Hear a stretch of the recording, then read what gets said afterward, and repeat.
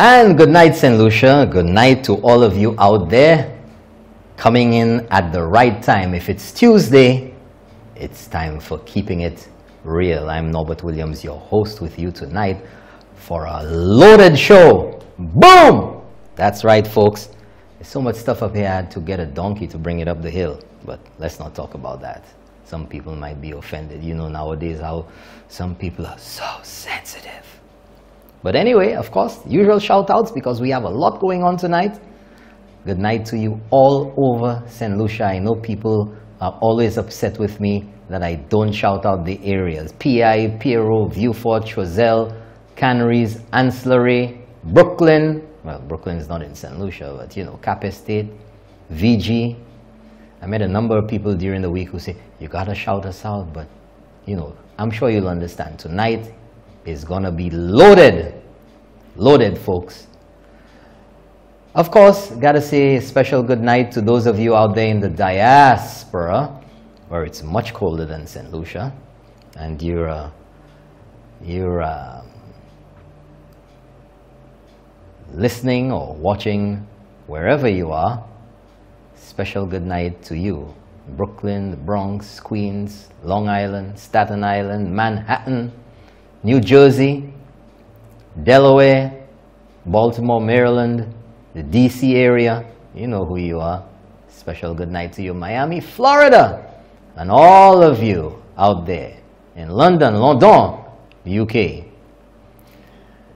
So let's just roll right along, folks. Let's just roll right along and get into things. You know, yesterday, myself, as well as I'm quite certain almost everybody who saw it, St. Lucians at home and in the diaspora, were shocked. They were bamboozled. They were, whatever adjective you can find to describe outrage, horror. And you all know what I'm talking about. That young girl who was whipped and thrashed and abused for the whole world to see. I'm telling you, I, I, looked, I must have watched it a hundred times because I wanted to get every minute detail of what transpired, what was said. I'm telling you folks, I don't know about you, but if I had been passing at the time, I think it would be very difficult for me to contain myself. That's what I'm, that's all I'm saying. That's all I'm saying. Because the level of depravity that the aunt of this young girl displayed and the manner in which she beat her, there is no doubt in my mind that this is not or was not the first time. This is not something that just happens all of a sudden. This woman has some problems. And whatever help she needs to deal with those problems is one thing. But she has to be dealt with and be made an example of by the authorities. And the police should have spoken to her by now. There's no reason why they should not have picked her up, as far as I'm concerned. I've heard many people express a number of different thoughts and what actions they would have taken if they had seen this. But before I go any further, have that clip lined up for you folks. Now, disclaimer, if you don't want to see it, if you're upset by acts of person on person, give you a few seconds to mute your TV, change the channel, and you can come back in about a minute. So with that said, let's go to that video. You have my shoe in your feet. You know I have to go to class in your You going in my shoe? Huh? You go to show. I want what? I want what? I want what?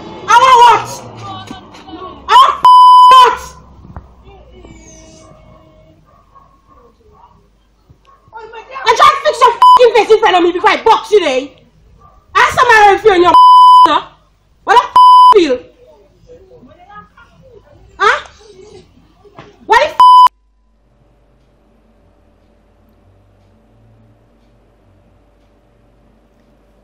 That was that clip. That was the first one. There's another one, a little shorter. But you get the idea of it, what transpired there. I don't know. This is keeping it real. And I'm going to keep it real to you in the typical St. Lucia way. Whether it's so or not, they don't know. But when you put yourself out there, you open yourself to interpretation. Wash PP. That's what I call that. Wash PP. That's right. Wash PP. Kila. Something is wrong. Because out of the blue, an angelic woman, that's supposed to be her aunt. Because the young girl wore her shoes to school, she proceeded to rain down licks on the poor child for a pair of shoes.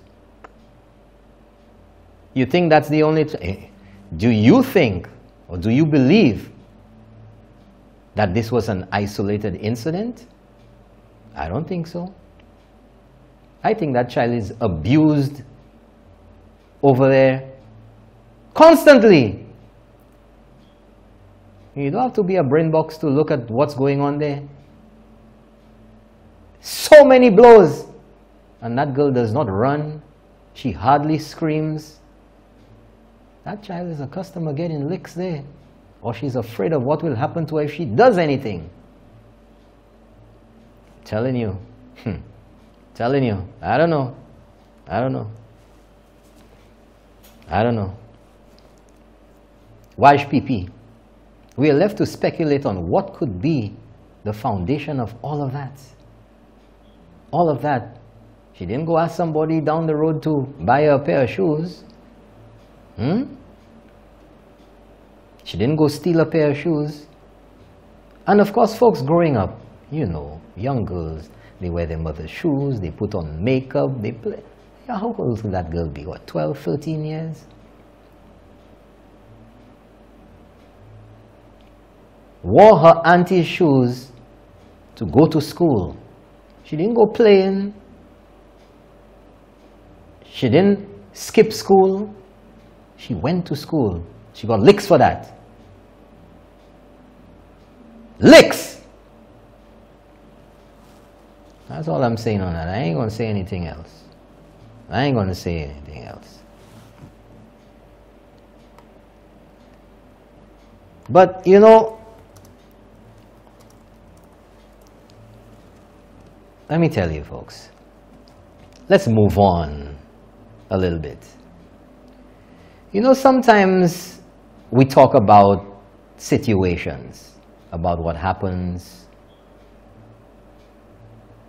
We project, we come to conclusions. You know, you think about what the outcome of things will be by behaviors of people, by statements people make.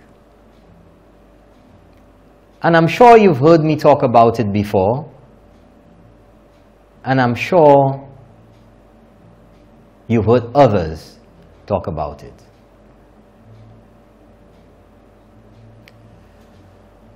The sabotage of St. Lucia's image, the letters that are being written, the statements that are being made in the press and on social media. If we get back in the government, or when we get back in government, we'll review every CIP passport. Letters to the British about the appointment of Guy Mayers as St. Lucia's High Commissioner in the UK, or to the UK. The statements by other individuals that they will write to investors and ask them not to invest in St. Lucia. The statements of people out there that Allen Chastanet will be prime minister over their dead body. And the statements by others that if you touch St. Jude's, or if you do this, or if you do that, there will be no peace. You remember those statements? I didn't say them. I didn't make them. Other people made them. You know exactly who they are because you're in St. Lucia. You're concerned about what happens in this country. And you've heard those statements, those utterances. And as I've said before, what happens when you continue to encourage an environment like this? You keep saying those things. You keep making threats. Doom and gloom and consequences and repercussions and when I this and when I that, I'll do this and I'll do that. What do you think is going to happen? well, folks, we've talked about investors not wanting to get involved in a lot of what has been threatened here. They'll be leery. They'll be apprehensive about coming to St. Lucia because time is money and nobody wants to get caught up in court cases, in political brouhaha, unfriendly climate. They don't want to waste time. Apply, come in, get your project going. But unfortunately, there are those who don't give a darn. Sabotage St. Lucia as long as they get what they want, as long as they get their way. And unfortunately, folks, just as has been predicted by so many, I have the evidence. you know, some people will say, I have the evidence, I have it. I have an email here, folks. An email.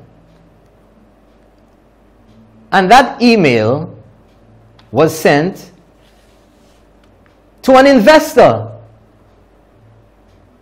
Well, company who is going to be doing work in St. Lucia They've dialogued with the government, and there's an agreement, a contract. But even after that company received the contract, they got an email. In fact, the date on the email is the 18th of November. But I'm not only just going to read it for you, I want you to see it for yourself because you know there are those out there who say, oh, Sapavwe! Sapavwe! Put that email up on screen for the whole world to see. Now, if you can zoom into the top there where you have the email information and who it's from, the sender and who it's going to. Zoom into the top of that email for me, please. Because there are some people at this time of the night, they don't see too well. Let's go to the top. Right. Now, folks, I have to let you know that some parts of this email have been redacted or they have been blurred out because I don't think it's necessary that persons who this email was sent to need to have those emails out there for obvious reasons. But look at who it says it's from. I'm only reporting to you what is out there. Okay? I didn't create it. I didn't dream it up what is out there from an investor, from a company that has signed a contract with the government of St. Lucia. And it says from, I'm reading plain English, St. Lucia Labour Party. St. Lucia Labour Party at hotmail.com. And the date is the 18th of November 2019 and it was sent at 9.58 GMT. St. Lucia is four hours behind, which means that that letter was sent at 2 minutes to 6 in the morning in St. Lucie. 2 minutes to 6. And the subject, as you can see, I blanked out the name of the company, St. Lucia, and it says, in parentheses, FBI corruption lawsuit investigation. Good day, mister, and I kept the name blank. We are the St. Lucia Labour Party and have been in existence from 1979. Now, pause right a second there. Obviously, that is not so. But I don't know whether it was fabricated to make it seem untrue. I don't know whether somebody fabricated or created a fake email account, but the email account is real because that's what it was sent from. I don't know. You know, some people already, I don't know, I don't know. but it is a fact that this email was sent. But let's go on because I'll tell you there's a little bit of, there's a bit of authenticity to this email and I'll tell you why. Let's go on. Our government have been, bad English, our government have been in power under Prime Minister and lawyer Honorable Kenny Anthony from 1997 to 2016. Our government would be re-elected in office in 2021 and would end, stop and cause all operations and payment toward the company blank. We are aware of the corruption and operations of your company with the present government and would be seek legal actions against your company operations. We are fully aware and have copies of your signed contract, contract IDSLU, and there's a contract number. And the contract number, folks, is real. So it is somebody who knows. Somebody who got the information and is being malicious. This is not a regular person out there on the street who just fabricated something. So it is my opinion that this is carefully orchestrated by a number of persons. It's not accidental, it's not just random. The persons know what they're doing, and there is an intention to it. So it says, contract uh, copies of your signed contract with our legal system, with our legal team. We can safely assure you within the next 10 years, you will not be getting any payment for the services they will provide within St. Lucia. Please consider this email as a form of ceasing operations as no form on repayment, damages or refunds would be given to your company. We will cease all assets, I guess they want to say seize, all assets and equipment and take company officers to court. Similarly, to, pre to previous company illegal corruption on island like Lambert's company and its CEO. Our government is working closely with the US government and FBI fraud and investigative assemble under corruption government ministers which your company have entered into signed contracts. Similarly to your company, we have taken a stance against all corrupted practices and government ministers and would be taking them to the USA High Courts and would also be exposing their practices to the general public. Listen to it. I beg you to cease before you become part of the global exposure of international corruption and your company loses its positive image globally. Once again, please cease from your operations. Fail would result in lawsuit. Best regards, executive member of the party. Now, that's what it says. I don't know who it's from. I don't know who's fabricating that it makes it seem like it's from outside. But what I can tell you, what is here, this was sent to a legitimate company which is doing legitimate contract business with the government of St. Lucia. They have a signed contract. And reading through the body of this, folks, regardless of what anybody says, the words which are used are not elementary. The manner in which the thoughts flow on paper are not elementary. So it leads me to believe, and the grammar on there is deliberately misleading, trying to make you believe that it's an imbecile who wrote it. But one thing stands out the contract number is a real number. It is a real number, folks.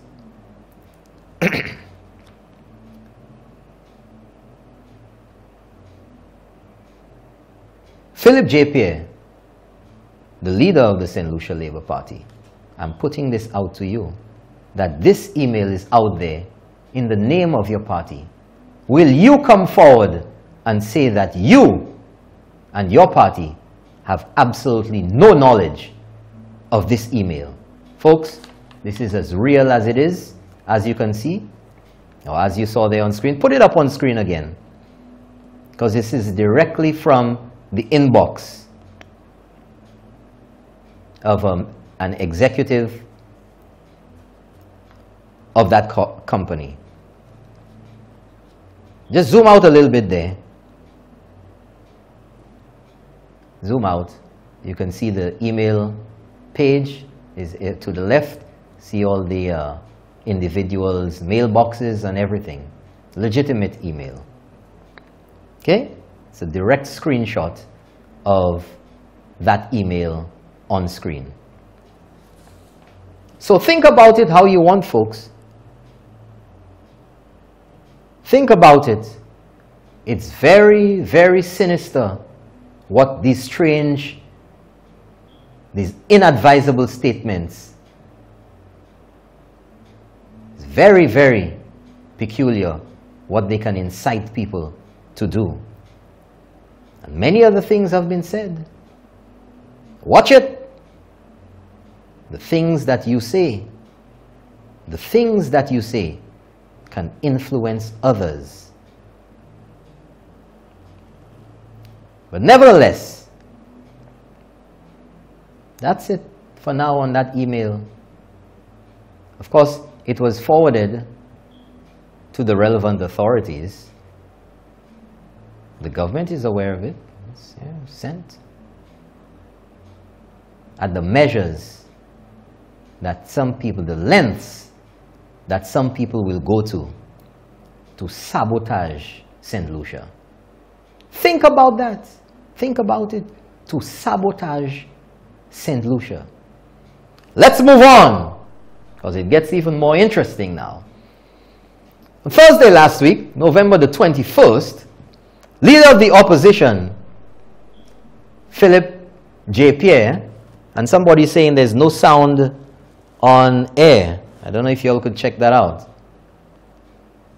Philip J. Pierre is, can somebody send me a message there? If you're hearing me. Philip J. Pierre appeared on What Makes Me Mad, or one of those shows, with Andre Paul. Two weeks to the day, or two weeks after his previous appearance. And he talked about, okay, sounds on. He talked about privatization. Well, well let's hear Philip J. Pierre. Let's hear Philip J. Pierre. Can you explain to us the role and functions of the Development Control Authority? I'm bringing this up because lately we've been hearing in the news about developments taking place without DCA approval. So can you please educate us on the role of the DCA? And is this normal practice that people can just do things in terms of constructions and doing refurbishments and so on without approval from the DCA? I'm calling. I'm not calling. that's all right. That's all right. Actually, um, that's a good question. In fact, there's a rumor and let me make it clear. Let me make it clear, it's a rumor. So the people want to hold me, don't hold me to it, please. If, if, if it's not true, I've said it is a rumor that the DCA is going to be privatized. It's going to be made a statutory board. That's a rumor. Now, that may not be true, but that's a fact. That's what I heard. So it may, it may not be factual. There's a rumor that the DCA is going to either privatized or be or going to be converted into a statutory board. Anyway, let's move on. Can, can you... Keeping it real. The leader of the opposition. A man who has been elected multiple terms is reporting a rumor which he cannot confirm, which he says not to hold him to it. But he proceeds to BS people because you know what? He's trying to absolve himself from spreading rumors by spreading rumors. That's what he did. Oh, don't hold me to it. But there's a rumor out there. I mean, that's the level of, of accountability that the DCA is going to be privatized. Si men bay la yo ka DAP, OKEU. There's nothing wrong with privatization, folks. But the context within which they use the word privatization makes you believe that it is a separate entity. However, there's no official word on any privatization. There's been no news. There's been no public statement. Nothing. But Philip J. Pierre, a few days ago, chooses to report on rumors. Rumors. But folks, statutarized, that's what he said. It could happen as well. But what's wrong with that?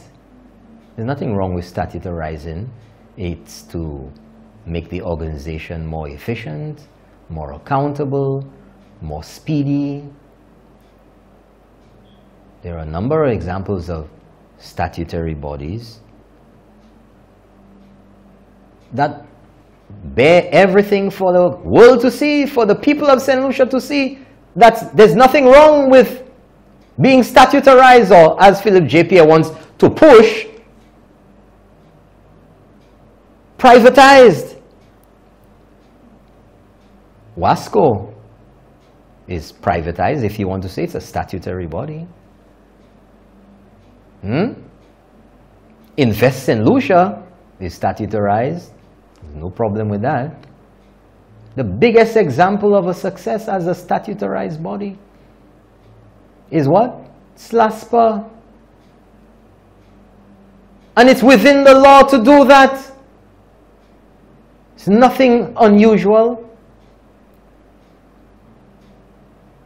Philip J. Pierre presided over when he was in government, WASCO, SLASPA. They didn't disband them. They didn't find anything wrong with them being statutorized. They didn't find anything wrong with Invest St. Lucia or St. Lucia Tourist Board or whatever. The milli mélanger of different entities that the government has. What wrong with that? But during that same,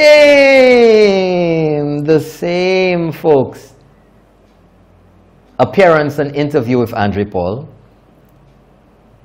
Philip J. Pierre, of course, they like to attack that, you know, direct awards. Oh, that's their whipping baby. They say, what how? Baiku. Direct awards. The government is giving direct awards. Oh my God, the sky is falling. Oh my God. Let's hear what Philip J. Pierre. Eh? Listen well, folks. I bring you a load of gifts for the season. Let's hear what Philip J. Pierre eh, had to say about direct awards on Andre Paul's show last week. Roll it. We'll come back to that. Okay. We'll come back to that. So, let's move on. You know, live TV, you know, you got to roll. Philip J. Pierre again, during that same interview, had to say, had to talk about Guy Joseph. Oh, absolutely. I'm not even going to paraphrase for you. Let's go to that video with Philip J. Pierre talking about Guy Joseph. Roll it. So, talking about facts, uh, Mr. Pierre, what is the, what are the facts surrounding uh, Mr. Guy Joseph and you know uh, allegations you, allegations of I'm glad you brought inve- investigations into I'm very Mr. glad Guy you Joseph. brought. Yeah, Mr. Joseph has been saying in Parliament with much bravado. You all investigated me. I defy Guy Joseph to find any document that says he, he there's any any investigation about him. Defy him. I defy him. I defy him. In fact, what there is, and I can attest to, there is an investment that is ongoing in, in the in the airport financing, A&M, etc. That is ongoing, which this government has stopped because they have not given the necessary information that was required. But there was no investigation on Guy Joseph, and I heard you repeat that, and I heard Russell say, say, say the same thing. That is not factual at all. There was The investigation was around the entire airport situation. But not specifically Mr. Joseph. No, it was not. It has never been him. It has never been him. But he believes he can take on the mantle of bravado because he because he talks the loudest and he makes the and, and he makes the most noise. But there was never an investigation in Guy Joseph. I defy him to show it. Never.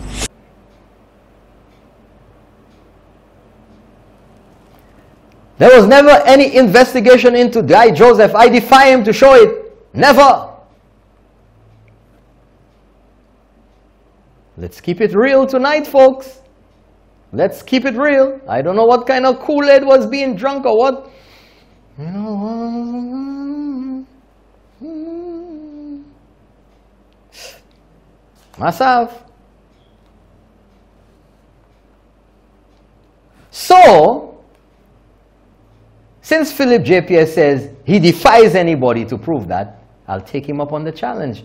Let's go to document number one. Person of interest. There it is. Let's go to the top of that. Gotta give the keeping it real crew everything. On top of that. Oh, that is the top, is it? It's higher than that. Okay. Re, but folks, this is from, there we go. Now zoom in a little bit more. You know it's nighttime over there. Some people, their glasses not working too well. That's right. Attorney General's Chambers dated the 16th of December. Look at it on the left there, folks. 2015, and it's addressed to Andrew D. Finkelman, trial attorney at the U.S. Department of Justice, Criminal Division, Office of International Affairs, 1301 New York Avenue, Northwest, Suite 800, Washington, D.C., 20005. And it says, re, request for mutual legal assistance in the matter of Antonio Asenza. Don't go too fast. Don't go too fast. Dear Mr. Finkelman, and folks, I have to tell you that I have redacted quite a bit of this communication from St. Lucia's Attorney General Kim St. Rose. Because it's irrelevant to the point I want to make here. And just to let you know, what has been redacted will be dealt with on another show. I'm not going to give you everything one time. Oh, no. Got to keep you coming back for more. So let's go. Dear Mr. Finkelman, we welcome your offer of a telephone call. And after reading your letter of October the 21st, 2015, we believe a conversation would be more beneficial together with this response. And then it says the request. With the benefit of your letter dated October the 21st, 2015, we wish to place on hold requests for number 1 to 7, 9, and 14. We wish to focus in particular on request number 8, 10, and 11 that relate to the two key persons of interest, Guy Joseph and Antonio Asenza. What did Philip JP just say a while ago? Guy Joseph is not the focus of any investigation, any direct, any person of interest, nada. So let's go to the next page. Let's go to number two. Yes, under probable cause. Zoom in for the nighttime people, please. Zoom in on that there for me. Overview. That paragraph there. Yes, that's it. Bring it down. That's right, that's right. We have attempted to bring further clarity on the subject of probable cause, and that's in inverted commas there, and I would suppose that is a, a question that they ask them about probable cause. Not only for requests 8, 10, 12, and 13, but also for the entire case. We focus on one subject, material omissions, in one example. Okay, I'm reading the wrong thing there. Oh, and the overview. You can't see that, that's why. Overview. The St. Lucia person of interest is who? Guy Joseph, who during the entire relevant time period was Minister of Communications, Works, Transport and Public Utilities. He was also a member of Parliament for Castries Southeast on behalf of the United Workers' Party. he occupied a position of public officer and we allege that he is subject to and in breach of the following law. And he says section 4 of the criminal code, blah, blah, blah. But what I'm dealing with here tonight is the statement by Philip J. Pierre, leader of the opposition, that there is no investigation into Guy Joseph. But under, I'll read it again, under the overview section, it says, the St. Lucian person of interest is Guy Joseph. It didn't say Norbert Williams. It didn't say Peter Flo. It didn't say Coco Flo. It didn't say Maggie 212. Guy Joseph, person of interest. I, I don't think you can get any more direct than that to me. What do you think? But there's more. Oh yeah, let's go to the next page. Because you see, unlike certain people, I will show you the signature page. Go up for me, please. Mute. Allez, that's right. After the, the final um, paragraph there, after your review of this letter, we look forward to a telephone call. I would request that Mr. Lindquist, the investigator, be allowed to participate in the telephone call given his forensic investigations and intimate knowledge of the case. Further, I have asked Mr. Lindquist to send by FedEx a copy of the exhibits that are referred to and numbered in the letter and appendices. We thank you in advance for your valuable cooperation in this letter, in this matter. Yours faithfully, signed, Kim St. Rose, Attorney General of St. Lucia. But it gets even more interesting, folks. Come over here. I have more for you. More fini. You know what? Let's roll back a little bit on that Philip J. Pierre person of interest video, just about 30 seconds from the end, because I want people to hear it again. They may have forgotten. They may have come in a little late. Let's throw that up there for them to hear. 30 seconds from the end. Philip J. Pierre last Invest week. That is ongoing in, in the in the airport financing, A&M, etc. That is ongoing, which this government has stopped because they have not given the necessary information that was required. But there was no investigation on Guy Joseph. And I heard you repeat that, and I heard Russell say, say, say the same thing. That is not factual at all. There pause, pause. The investigation. There is no invest. You can take that down now. There is no investigation into Guy Joseph. This is not factual at all. Page 2. The St. Lucian person of interest is Guy Joseph from St. Lucia's Attorney General on the 16th of December 2015, Kim St. Rose. Philip J. Pierre, as he has touted many times in the House and elsewhere, was the Deputy Prime Minister. He sits in cabinet. And even if he may not have been, maybe he was under the weather that day and he didn't attend cabinet, he wasn't around, He was back eventually as a minister of government, a senior minister of government, the deputy prime minister. He had to have heard about this. He deaf, he blind, he sud, he kabwe. You answer those questions for yourself.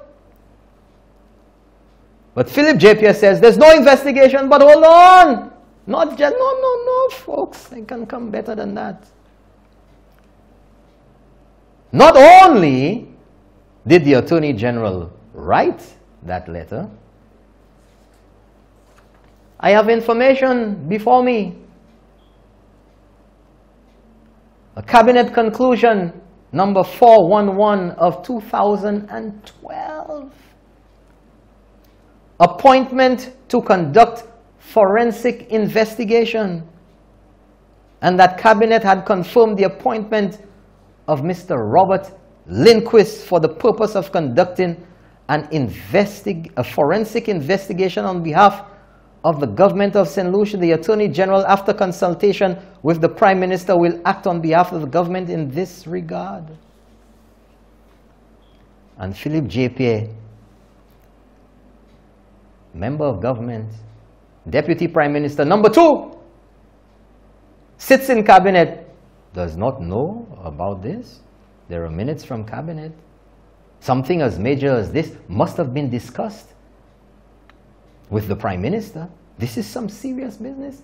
And Robert Lindquist, folks, listen here. Robert Lindquist was paid almost 3 million EC dollars to conduct this investigation. Mm-hmm. Mm-hmm. 3 million EC dollars to conduct this investigation. There's hardly any information in the Attorney General's chambers and in my lady's chumba. Anywhere. But hold on. It gets better. It gets better or worse. If you as an individual, not an employee, but a contractor, an individual who does work for government, if the check is $1,000 for your work or $10,000, you, it doesn't matter. If it's for $1,000, when you get that check, it's for 900 because they tax that before you even get it. And if you're a corporation, it's corporate tax on there. But Robert Lindquist, being a foreigner, conducting business with the government of St. Lucia, is supposed to have 25% withdrawn from that check as withholding tax. But you know what, folks? Guess what? I bet you can't guess what. No taxes, no withholding and there is no evidence of any withholding or any authorization not to withhold taxes from Robert Lindquist. Nada. Lots of questions to answer in that. But there's no investigation into Guy Joseph. But the person who was paid somehow magically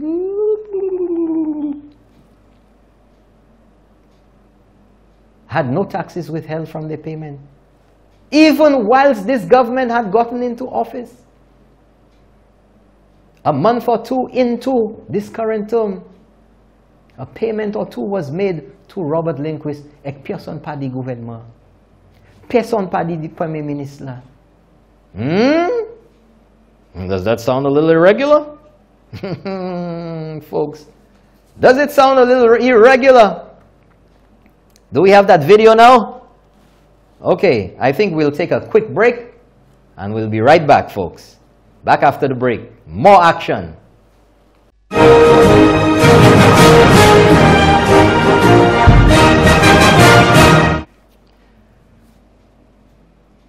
Well, welcome back, folks. Welcome back. We had a little uh, situation with getting you the right file because I wanted things to be in sequence. And we have everything lined up now. Got a backup of the file. You know, backup of the backup. That's right. Keep it real right here. We're going on with it.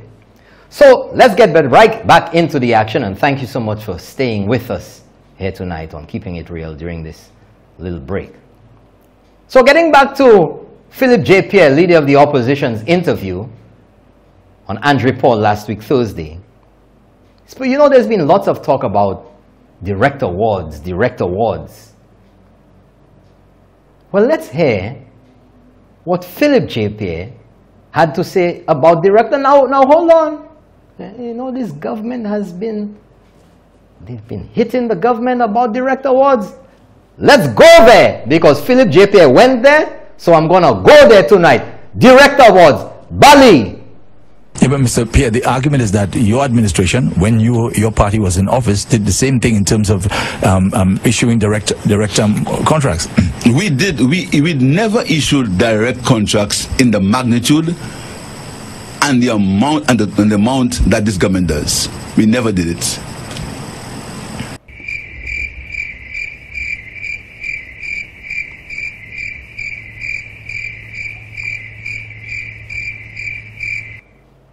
All right. Uh, utanli kuma.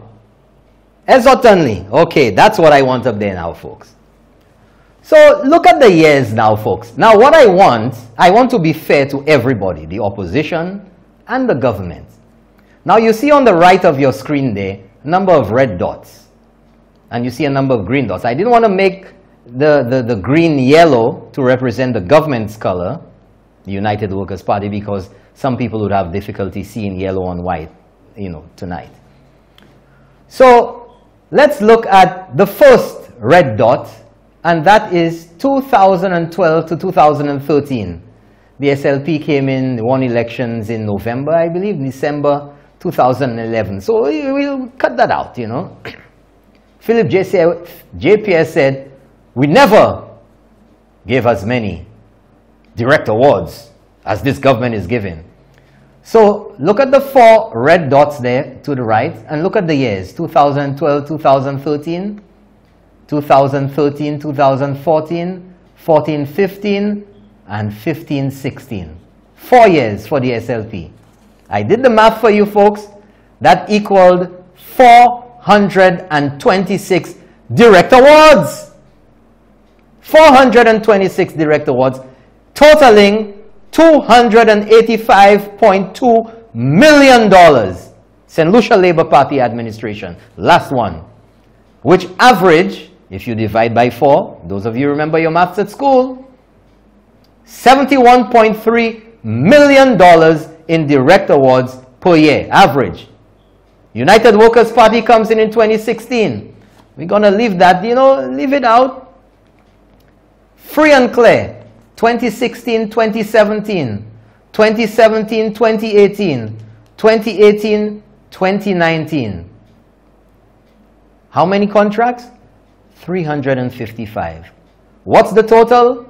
$183 million. Average, $61 million a year. Hmm? Philip J. Pierre. Play Philip J. Pierre again for the people to hear. Bali. So, Pierre, the argument is that your administration, when you your party was in office, did the same thing in terms of um, um, issuing direct direct um, contracts. We did. We we never issued direct contracts in the magnitude and the amount and the, and the amount that this government does. We never did it.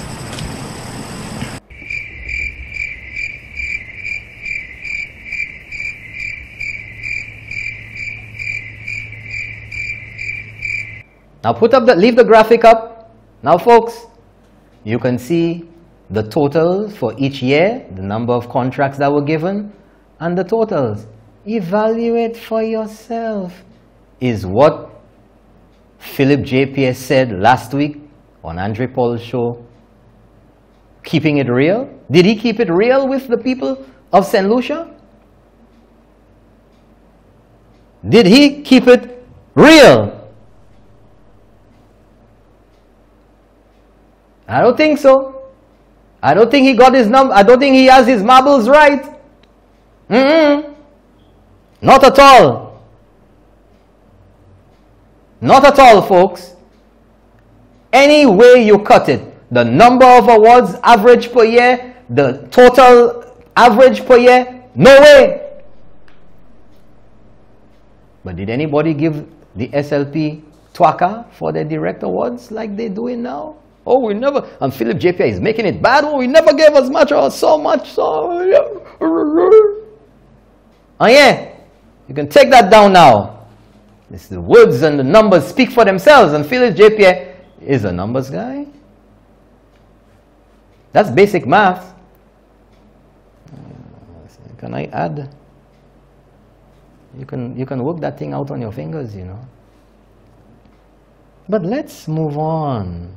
Let's, this is the real interesting part right now, folks. In the same interview again, Philip J. Pierre, folks, let's go. Let's go. He talks about buildings at St. Jude's are going to be demolished. Let's have Philip J. Pierre talking about the buildings that are being taken down. Let's hear him. And no one has told me.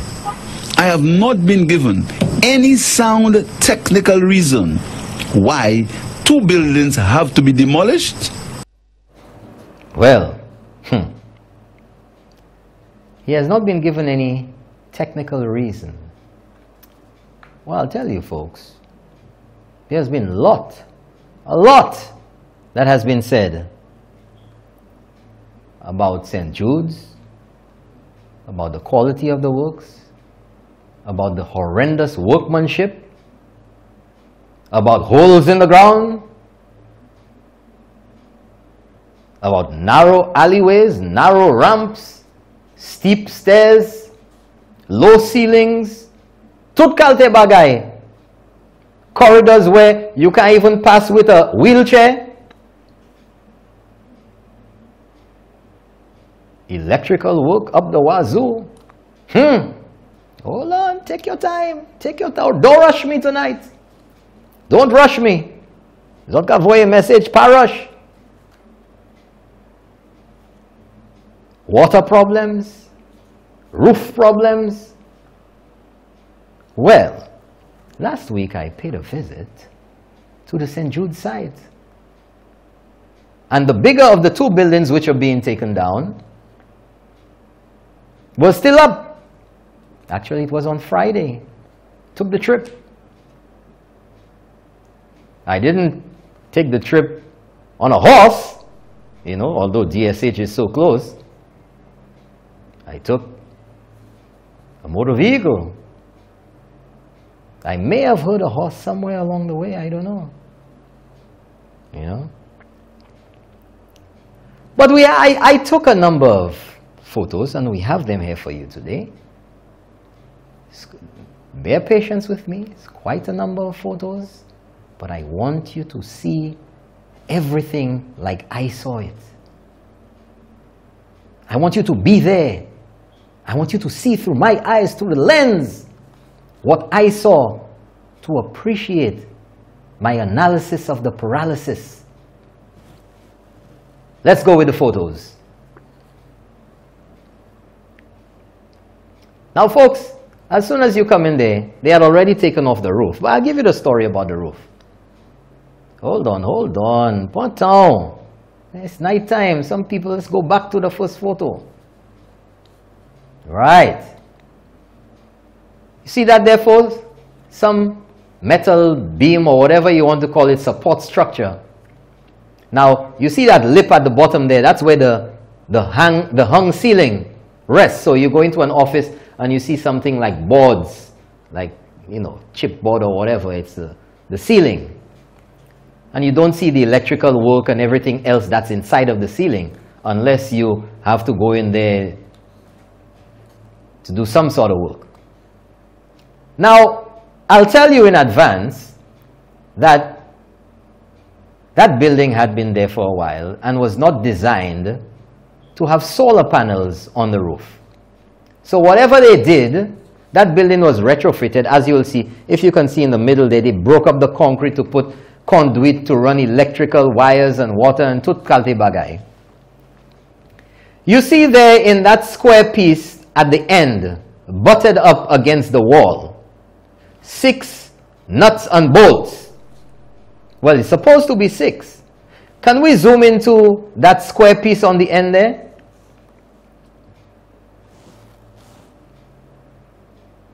Almost, almost. SOA, folks. Now, there were solar panels that were put on that roof. And there was nothing supporting the roof. It was a flat roof. It wasn't peaked, it was flat. About 100 solar panels, and each one of them weighing 41 pounds. I did my homework. I went to the website. I have all the info for you to see. You see already at the top there in the middle, it's missing, missing a bolt. Let's go to the other photo. Now, folks, that's the other end. In one of the rooms at the top, a two-story building. Let's zoom in on that. Let's zoom in. Zoom in on that end. let's zoom in again. Zoom in. Bali. Look at that, folks. In a l'hopital. Gaza. Not one bolt in there. Now, if you look behind, if you look behind, you can see the conduit, the PVC. That's behind that piece of metal there. That's supposed to be holding up or supporting the roof under the hundreds or thousands of pounds of weight. In fact, 41 by 100 solar panels equals 4,100 pounds, plus all the other attachments and everything. So anything between 4,000 to 5,000 pounds on that piece of roof. And this is what was meant to prevent the roof from sagging. No bolts. And if you look, you can see at the back then, top left, the PVC pipe. There's no concrete there to hold on or to bolt that end piece. Okay? Next photo. I ain't finished yet. Look at it again, folks. Now I want you to see what this piece of metal, which is supposed to support all of that weight, including the roof. Look at what it's, it's just resting on a one and three quarter piece of concrete that they just cast there. There's no reinforcement, no nada. Can you imagine a hurricane, the weight of that time with people in there? And that was the dialysis building where some of the most vulnerable people come for attention at the hospital. Next photo. Uwaikuma. Lot angle. You see that? It didn't even go all the way up. It wasn't broken off, nothing. That's how it was under the ceiling or inside the ceiling. Look at the lip on the side there, the piece of concrete or, or cement that was cast. Huh? To support that. There's no reinforcement, there's no BRC, there's no metal, nothing. Just C-Makila to support all of that weight, including the weight of that long 30 to 40 foot span of metal pipe and welding that's there. Next photo. Right? Look at it again. Next photo. Here's, let's zoom into that tape measure there. I give you all the information, folks, as I see it. Zoom in again and go up a little bit. You see the width of that there? One and three quarter inches. Go up a little more. Look, right above the, the, the tape measure there. You see a hole. You don't see any mark of any bolt or any nut or anything there. Nada. Mute. Mute, horsey. Look at that. Look at that. And all of that was underneath ceiling. Huh? Gade. But you don't know what was wrong. Next photo. Let the people of St. Lucia see. Next one. Look at this. This is one end piece. Right? That's supposed to be done properly. Next one. There's more for you to see, folks. A, a distance shot of the same thing. Next one again. I've given you all the angles. Right. Now, this is a section of that same floor, which is which has a concrete roof. That's the flat section. But look at down there. Water. Next photo, I'll tell you why the water is there. Let's go. Next photo. You see that? We're talking about mold in St. Lucia. When it rains, the water is seeping through the concrete roof. Zoom in on that. Mutrayo mold and the salts and everything that's coming through. But that's a L'Hopital. That's a L'Hopital. Right? L'Hopital, 130 something million dollars spent. Galeta. After 130 million has been spent, that's the status. Right? The hospital was 90% done, almost ready to open. Vesa, next photo. Right? Ah, now that's another section. There's supposed to be some pump room below ground level, folks. Below ground level. But I'll show you what it looks like. Let's go to the next photo. Look at that. Three feet of water in there. Water coming in through the sides of the walls and underneath. But that is a hospital that was 90% ready to go. And according to the member for Laborie, in the House of Assembly, on more than one occasion, man just go like chemical and get some bleach and clean that and is ready to go. Galita Plasla. Next photo. I'm letting you see it. I'm giving you all angles. Huh? Galetasa. And it's supposed to be a pump room. Now remember, folks, remember, supposed to St. Jude's was destroyed by what? By fire. Put that, leave that in your mind. Let's go to the next shot. Now, on the right, folks, is where that pump room is that you just saw with all the water. You see that bush there, that grass? Right. That is, you see the window level? So, the bottom of that room is below ground level. Next photo. And that's another shot, another angle, right? Look at the room, that, that room there. You can see the white button out between the green and the, the footpath light there. That's to show you how low it is below ground level. Next photo. There it is, a closer shot. Right? Next photo. Next photo. That's a random shot there. You have another photo? Ah no, Pape. Are we there yet? Zoom out on that, zoom out on that, folks.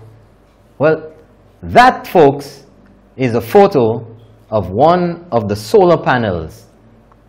Right? One of the solar panels. Let's go to the next shot. All the info is there. Ah, that's the shot I wanted you to see. From up above. Right? Look at the. Look at the pumping equipment down there. A bad badlo. A bad badlo in a hospital where you all had already spent $130 million. Rain falling. Huh? Water seeping in from the sides. They can bar. Three feet of water there. And the men on, on, on site now, if you look to the top, you see like a little drain they had to dig out for that water to drain out of there. And the roof was removed. And if you see, uh, can we get the next shot? Is there another shot? That lip there, that to the front, to the top, is where the roof was just leaning. With all of the talk, you know, all the hoopla they made, all the experts they had on climate change, and their trips in all over the world, St. Lucia leading the way. This was hurricane proof. The roof flat on top of there and just nailed down when rainfall, when rain falls or anything, what happens to that hospital? Steam room or water pumping room? What happens? Out of commission. So we're done with the photos. Let's go to the videotape. Let's go to the next video. Let's go to the video. And of course, folks, I wanted you to see for yourself because if you remember, that there was a lot of demolition done at the old St. Jude's and stuff was buried, has disappeared. But everything that was removed from that building is still on site to be seen. Nothing was hidden. Nothing was buried behind the gas station. No tens, tons of debris disappeared. That's why you couldn't understand why $130 million was spent. Because it was built and broken down and built and broken down. So you build three hospitals and you only see in one. There's the solar panels in another room again. And let's zoom in there. I wanted you to see what it was. You can see dialysis building. Uway kuma. Esuway. Majwa usav. I bring you all the evidence. Keep going. There it is. Dialysis building. All for you to see. Let's go to the next video. Let's go to the next video.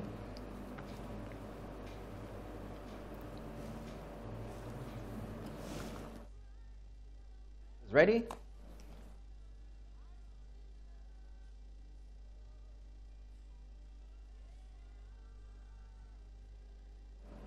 Well, folks, I present to you the evidence for you to conduct your own analysis of the paralysis. Okay, that other video is not playing for some reason, but you get the idea. It's basically the same, the same building, just showing you the roof that was taken off, the materials, everything else associated with the solar and everything else. So we can come back to, to, to me here.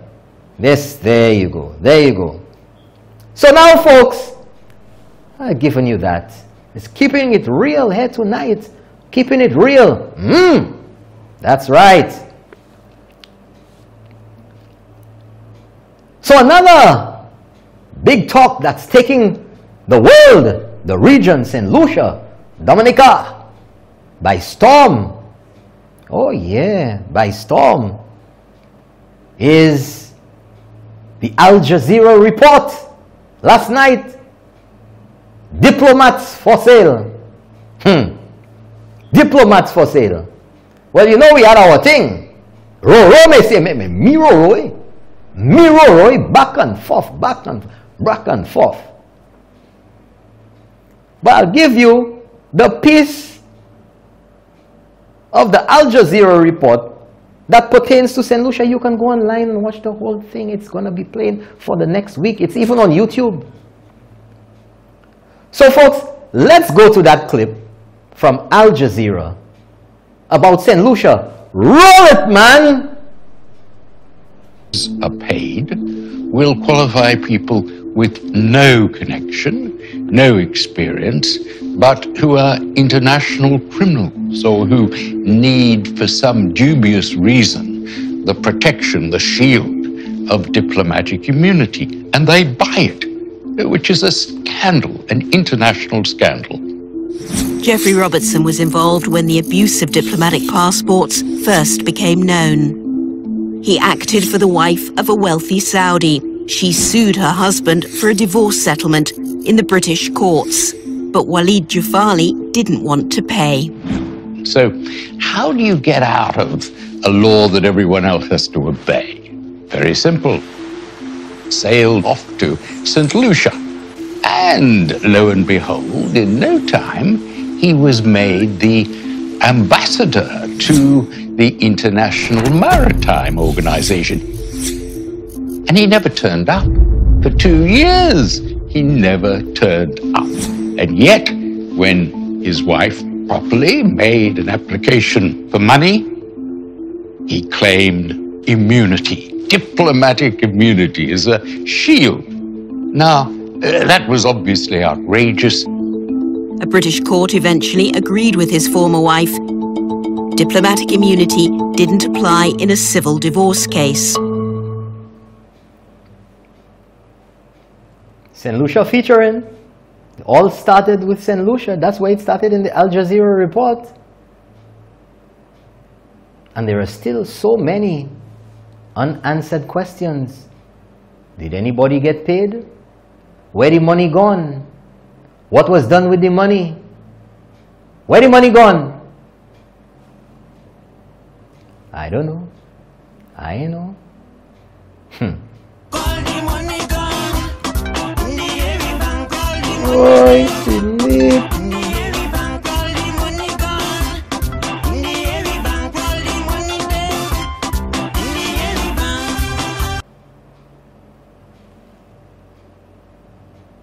Where it gone? Where it gone? Who have it? So in keeping with all of this, and all the questions that those St. Lucians were asked, let us now go to an interview. Newspin, Timothy Poleon with St. Lucia's former High Commissioner to the UK, Dr. Ernest Hilaire. Rather interesting interview. Roll it! What um, Dr. Jufali is getting in return is a St. Lucian passport. He has St. Lucian nationality, unlike Bill Gates and the people he made reference I to. don't know, does he, does he have St. Lucian Does, nationality? doesn't he have a St. Lucian passport? Jim, but there's a difference between having a passport and having St. Lucian nationality. Okay, but doesn't he have a St. If Lucian has passport? passport, well, Tim, I mean, you'll have to have the official the authorities about it, but No, I'm no, no. you... No, no, but uh, if you're having a, a conversation, you were our British High Commissioner, all right, to London. You're our High Commissioner to London. You still, you should be in a position to answer that particular question, whether he has a St. No, passport or not. No, no, all I'm saying, what I'm saying to you, team, I was trying to explain to you, William, and let me answer first with the point I'm making you. There's a difference between having a passport, which is to facilitate official duties, and necessarily having nationality. Okay, what's his status? I want you to make that point. what is his What is his status? status? Uh-huh. He's our representative to the IMO. Okay, apart from that, does he have a St. Lucian passport? Against him, like I said, the authorities alone can, can, can, can speak about those issues. No, but- I'm not sure it's in my Yep. place. No, but if you're having a frank discussion, um, Put it that way, Tim. Put it that way. Put it that way, Tim. Uh, I, I, I would see nothing wrong in Dr. Jufali or anybody who has official status being granted a, a diplomatic passport because it is to facilitate the conduct of their duties. Okay, but does he have a, a, a diplomatic. Lucia passport? Again, again, I'm explaining to you. I cannot, I'm not the one to reveal that. I mean, they are the, the persons who are best into the, to make those announcements. I'm not going to announce all the people I know. I can tell you, I know a lot of people that have diplomatic passports and I've had it for many years. It's not my place to make that announcement. That's what I'm saying to you. Okay, because I just I don't want it to appear so that Dr. Jufali is interested in. Lucia to the extent that he does not want anything in return, that he's so altruistic in terms of his love for St. Lucia.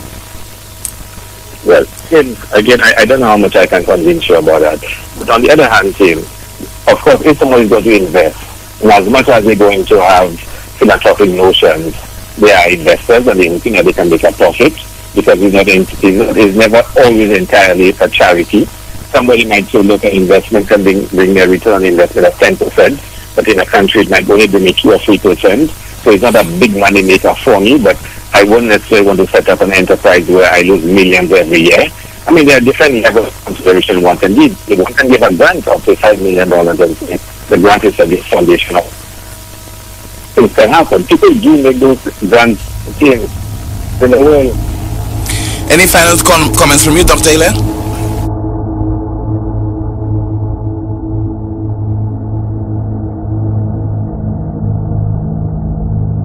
Well, folks, lots of questions coming up again. A lot of questions have not been answered satisfactorily. Many, many questions. Have actions which were taken before, have they continued to affect St. Lucia's reputation? That's all I'm asking. But then, there was a letter. It was a little too much to have you reading so late into the night, so I will just skim through it. And this letter was put out. Civil society to organizations, my Prime Minister, a political leader of the United Workers' Party, Allen Chastanet. And he said, You will recall in my letter of December the 16th, 2015, I raised grave concerns about the validity and circumstances surrounding the ambassadorial appointment of Dr. Walid Jufali and the undeniable harm it was causing to St. Lucia's reputation. Undoubtedly. But let us not forget Hala Jufali. You all remember that? It was a whole big to-do at Government House. And they were saying, oh, how this would encourage travel and tourism between St. Lucia and Saudi Arabia or whatever. A country where women can hardly do anything, but they had a woman, Hala Jufali. No experience in nothing. Oh, by the way, just perchance, the daughter of Walid Jufali. Why kuma? Did she have a diplomatic passport too? Hmm? Hmm, questions to ask. Anyway, at that time, I also warned that it could not have come at a worse time for the citizenship by investment program and invited your support in calling on the government to appoint an independent and autonomous board representative of civil society. That annual financials of the CIP should be presented to Parliament and that legislative provision be made to permit the application of CIP funds to be used towards debt reduction and capital expenditure and not recurrent not uh, recurrent expenditure. But you get the idea of this, folks. We're running short on time. Maybe we could take one call tonight. Let's open up the lines quickly and take one call because I know it has been long and some of you have been chomping away trying to get in on the action. So we'll take one call. If we could take squeeze two in, we'll squeeze two. Let's go. 450 0777. Let's do it. So, folks, it's not our doing here in St. Lucia. The expose, the focus on Dominica, the focus on diplomatic passports, the focus on corruption in the system didn't just happen overnight. It didn't just happen overnight. It's a serious situation, folks. And I'm telling you, the world is watching. That Al Jazeera report has rocked the region. I know for sure people in Dominica, Grenada, St. Vincent, throughout the region. And of course, all the diaspora have been watching and talking about it has been the talk of the day. We have a call. Good night, you're on the air. Let's keep it real. Norbert. Yes, sir. Good evening. Good evening to you.